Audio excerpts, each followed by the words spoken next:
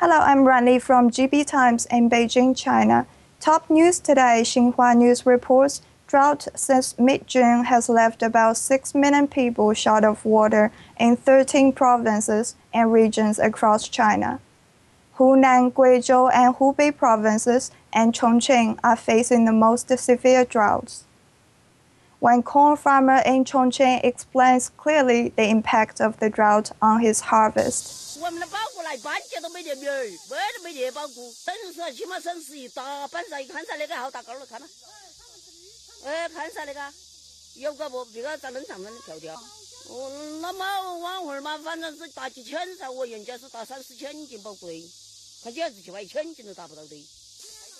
Drought has caused direct economic losses of 12 billion yuan, or some 2 billion US dollars, and affected about 2.1 million hectares of farmland.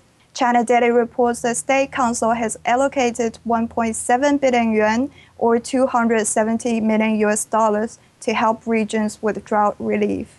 Also in news, the New Zealand-based Fonterra Cooperative Group apologized on Monday for its tainted milk powder scare and pledged that all the contaminated whey protein will be brought under control within 48 hours.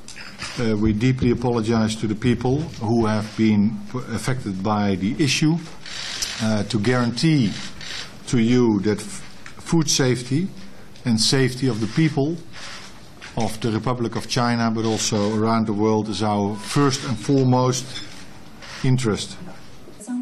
The CEO insisted that the milk contamination had no serious health impact. Like I said, there's no reports of anyone becoming ill. There's no consumer complaints.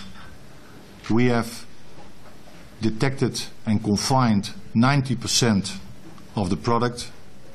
10% of the affected product is, be, is under recall, so it will come in in the coming 48 hours.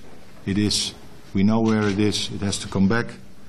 So in 48 hours from now, the situation has to be fully controlled with 100% control over all products or finished products produced from this ingredient. Expert Zhang Yongjian told the Global Times this case will definitely have an impact on the whole New Zealand milk industry, breaking the blind trust of the public toward imported dairy products but experts claimed it is still not easy for domestic companies to regain the public's trust in the short term. The 2008 melamine tainted milk powder scandal have heavily damaged their reputation. Thanks for following GB Times. We're also on Facebook and Twitter. I'm Ranli in Beijing. Goodbye for now.